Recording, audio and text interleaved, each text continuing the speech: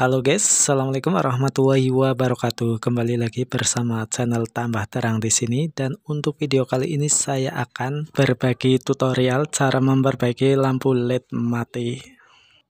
Yang akan saya perbaiki adalah lampu LED 23 watt merek Premier. Oke, kita coba dulu untuk memastikan bahwa lampunya sudah mati.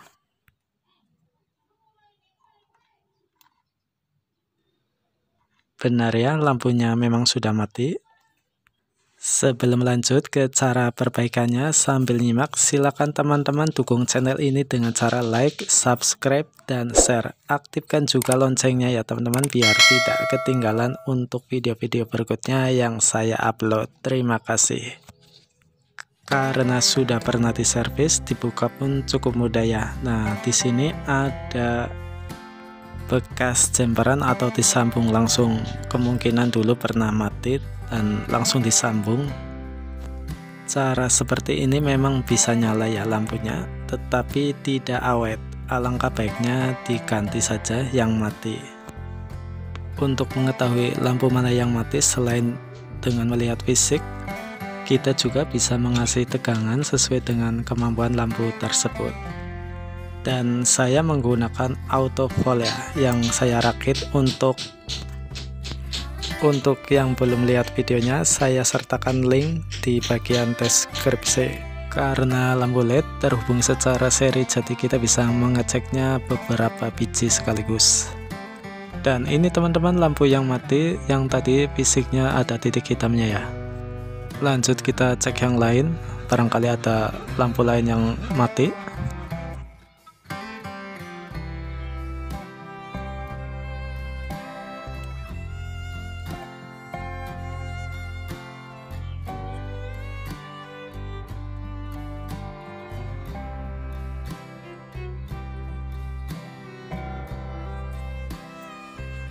jadi yang mati cuma satu ya dan kita akan ganti dua yang jemperan ini karena kalau tidak diganti tidak akan bertahan lama.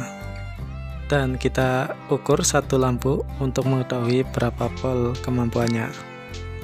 Di sini untuk satu lampu kemampuan maksimal tegangannya 5,6 volt. Jadi kalau salah satu saja lampu kita jumper maka masing-masing LED akan mendapat tegangan yang lebih ya dari yang ditentukan.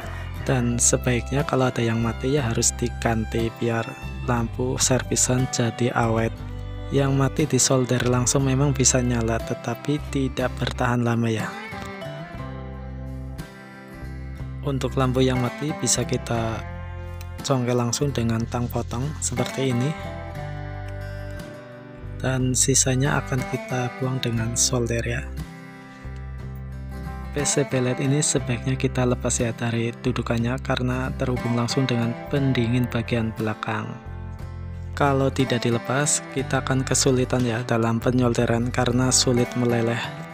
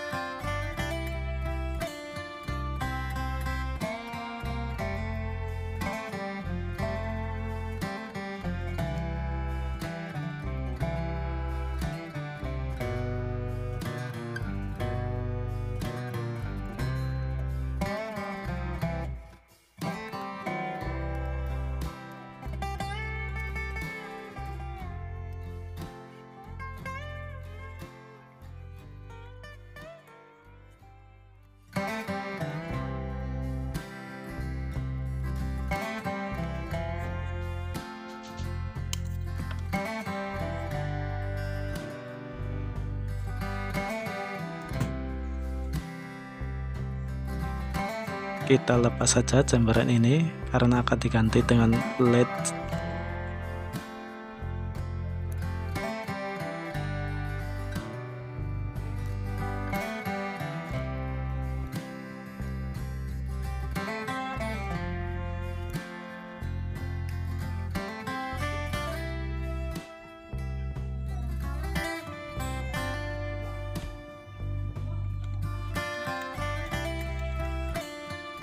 dan ini teman-teman saya sudah siapkan penggantinya yaitu dari lampu led bekas. Karena ini sudah banyak yang mati jadi kita ambil saja led yang masih hidup ya.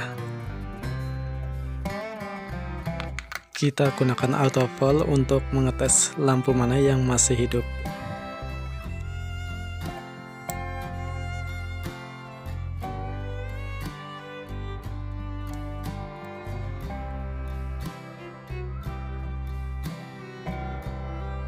saya akan ambil yang ini ya yang paling pinggir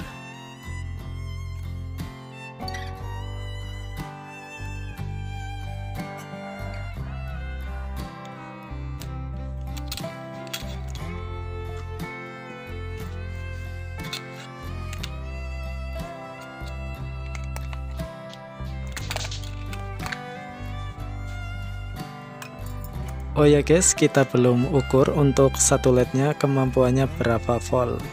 Kita tes dulu.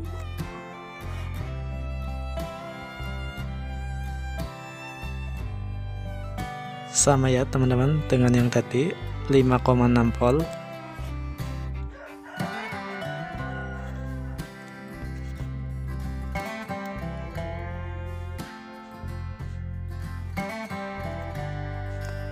Biar hasil cabutan led ini baik kita gunakan setrika ya. Kalau kita nyabutnya menggunakan solder lampu akan rusak. Kita panasi solder terlebih dahulu ya teman-teman. Sampai panas baru kita taruh di atasnya PCB ini. Nah sekarang setrika sudah cukup panas ya untuk melelehkan timah solder ini kita taruh di atasnya. Lampu mana yang akan kita cabut ya?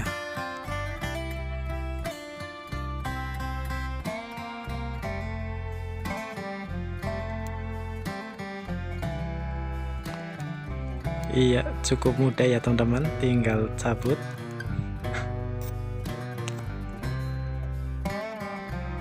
Untuk lampu LED ini kan ada polaritasnya ya teman-teman yaitu anoda dan katoda untuk katoda di sini ditandai dengan coakan ya.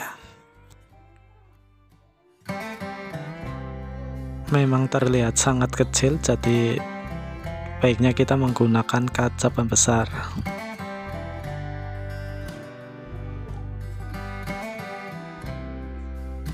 Dan untuk LED penggantinya juga sama ada tandanya ya di pojok.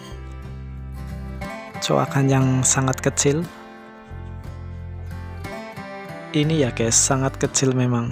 Nggak kelihatan kalau tidak menggunakan kaca pembesar.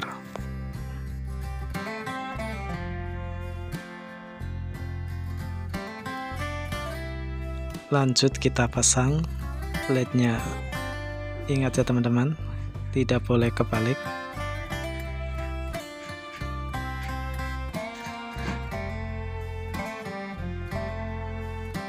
kita pasang satu persatu langsung disolder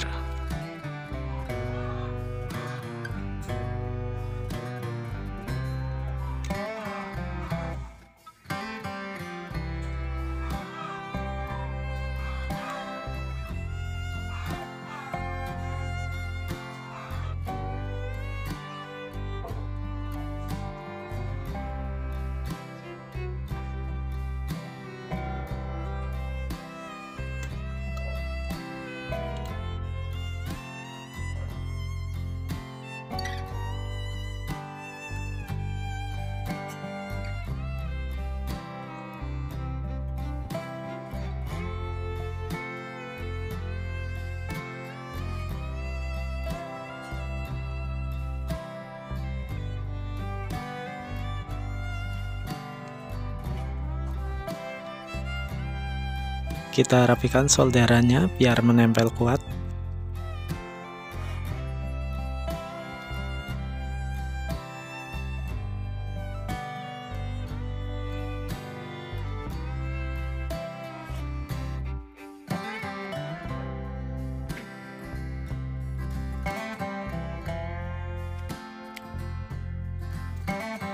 Sebelum kita pasang dan dirapikan, sebaiknya kita tes dulu lampunya apakah sudah terpasang dengan benar.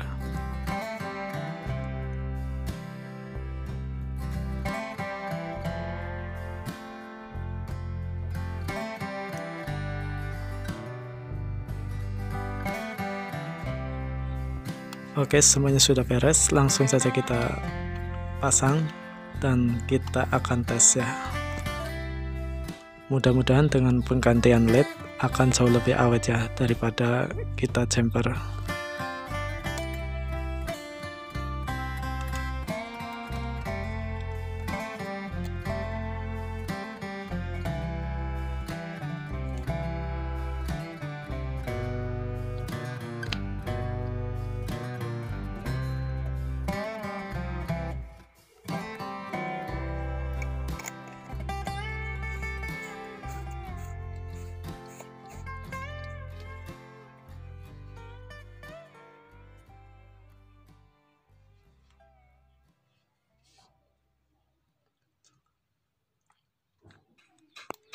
Alhamdulillah menyala. Terima kasih sudah menonton sampai akhir. Semoga tutorial ini bermanfaat.